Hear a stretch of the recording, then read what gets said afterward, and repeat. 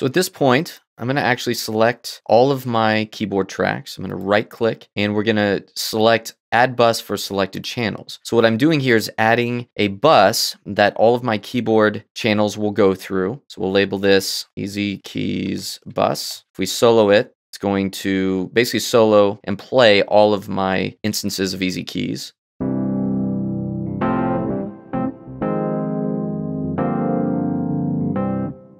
So that gives me some additional mix control. But really the reason I want to do it is because I want to add in another EZmix plugin. We're going to go to the EZmix 1 library, go to compressors, and I'm going to grab this compressor 2. It's a very simple compressor. I'm going to leave it in its default state. And the reason for this is now that we have three different keyboard parts, I'd like to just glue them together with a little bit of compression.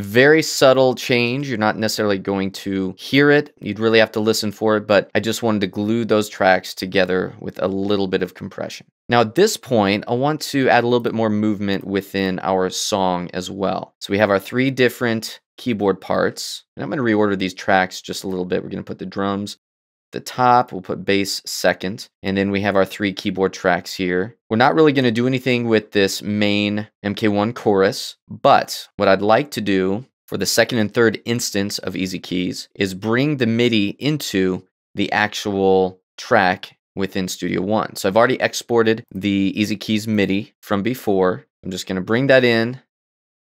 We'll drag it into both of these new EZKeys tracks. Let me go to the very beginning. I just want to make sure everything is lined up correctly, and it is.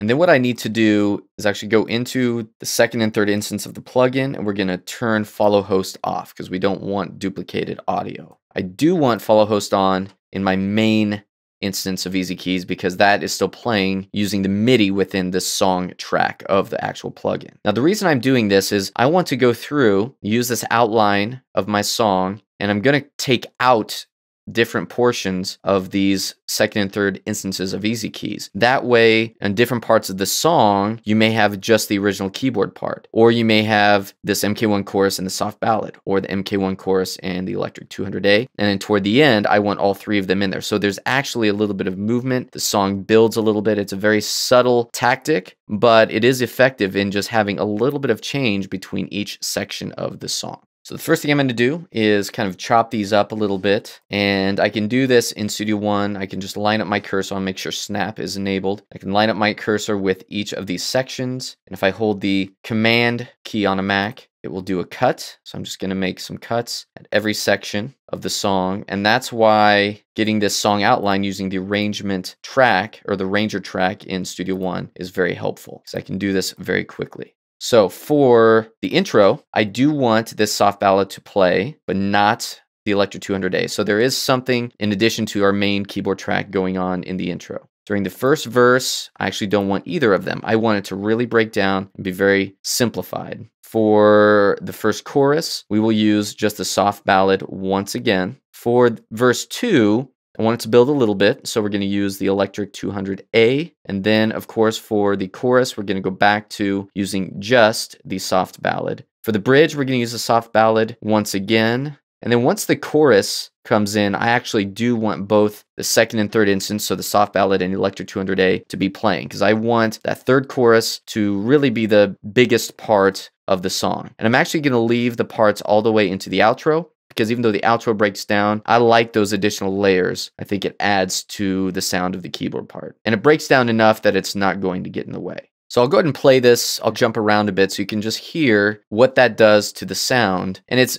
a subtle difference, a subtle change, but it actually does make a difference. Gives the track a little bit of movement and it makes it so the keyboard track isn't so static as far as it just being one sound the entire time. Now we're adding some layers at different times within the song and it kind of builds to the end.